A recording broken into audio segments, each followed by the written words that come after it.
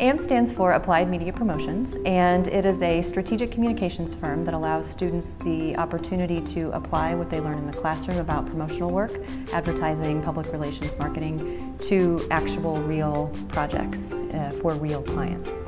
So AMP was piloted uh, a year ago, and when we started, our first project was we worked for the Parkland Entrepreneurial Network, so PEN as we call it.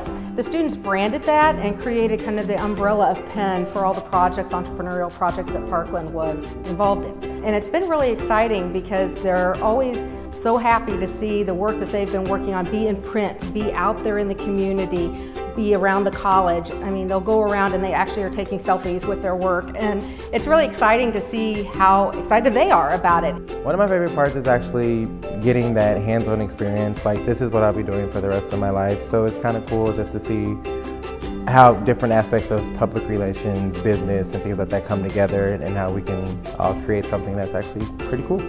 This is something that you're going to be doing in a real PR firm someday, so I think that's very valuable to students because you're taking stuff from the class and putting it out there and people can see my work.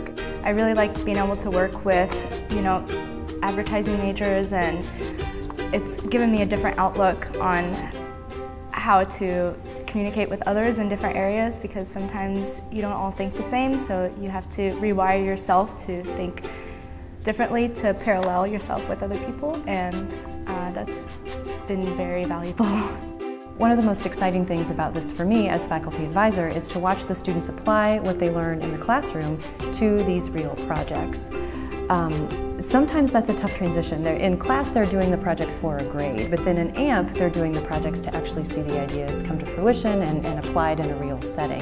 And sometimes that transition can be difficult. So I'm glad that AMP now exists to provide that middle ground between the classroom and their career.